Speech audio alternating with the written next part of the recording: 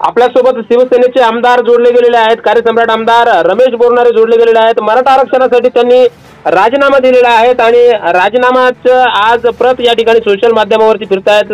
तर एकंदरीत काय अपडेट आहेत? आज तुम्ही राजीनामा देत आहेत सरकारमध्ये असताना सुद्धा तुमची पहिली महत्वाची भूमिका मराठा समाजाप्रती पाहायला मिळाली.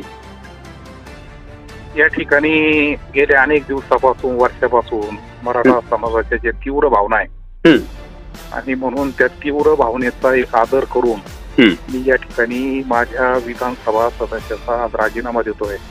राजीनामा देत असताना ज्या ज्या समाजाने मला निवडून आणण्यासाठी प्रयत्न केले त्या सगळ्या समाजाचे प्रतिनिधी आज कार्यालयामध्ये सकाळी सकाळी सगळे हजर झाले.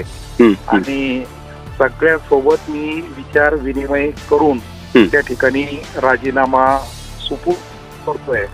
आणि महाराष्ट्र राज्याचे आदरणीय मुख्यमंत्री. एकनाथरावजी शिंदे साहेब.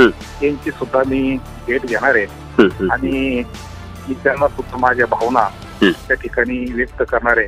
मला आजही खात्री आहे आदरणीय मुख्यमंत्री एकनाथरावजी शिंदे साहेबच.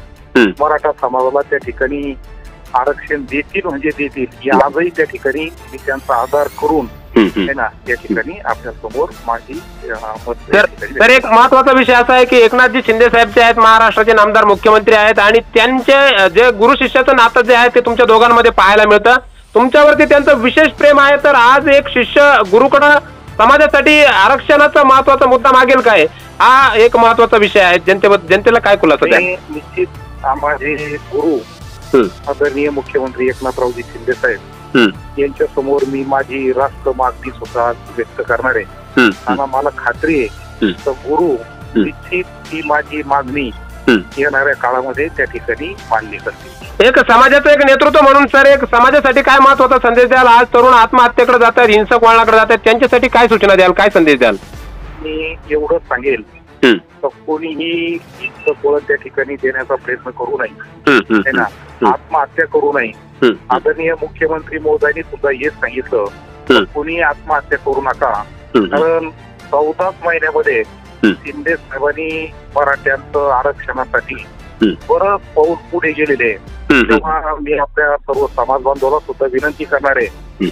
आपण त्या ठिकाणी कोणताही अनुचित अनुचित प्रकार घडणार नाही याची सुद्धा आपण काळजी घ्या कोणी आत्महत्या करू नका. है एवढंच या ठिकाणी मी संदेश देईल तर वैजापूरचे आमदार जे आहेत प्राध्यापक रमेशजी बोरणारे सर हे आता मुंबईकडे रवाना झालेले आहेत. तर यांच्याकडं राजीनामा सोपवणार आहे तर सर राजीनामा नेमकं कुणाकडे देणार आहेत? त्याबद्दल एक खुलासा सम- समाजाला. मी दोन प्रतीत राजीनामा घेतलेला आहे. हा. विधानसभेचे अध्यक्ष.